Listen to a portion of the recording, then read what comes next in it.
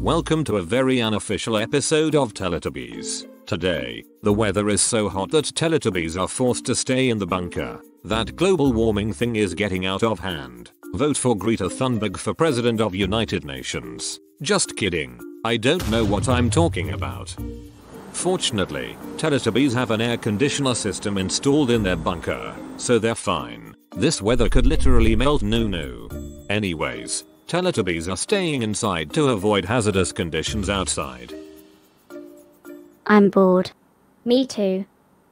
I know, right? It's too hot to go outside. Let me check the temperature.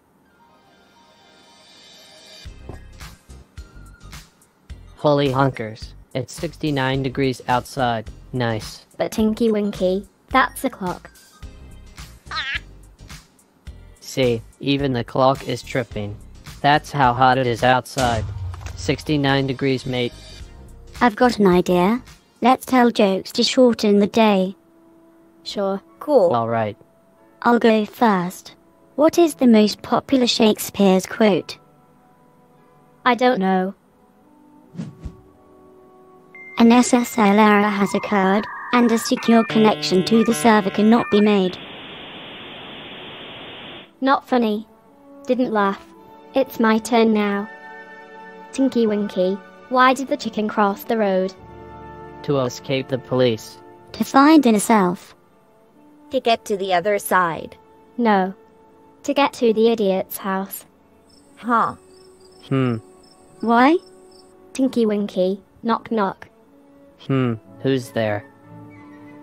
The chicken. That's not cool, Po. Oh look, it's already an evening. Hopefully, tomorrow's weather will be much nicer. Good night, Teletubbies. Night. Night. Night. It's been a while since I made a video. Like 2 months ago or so. It's mainly because I was busy with the job. Hopefully you understand, and I hope this was a fun video. Thanks for watching. 69 degrees. Nice. Nice.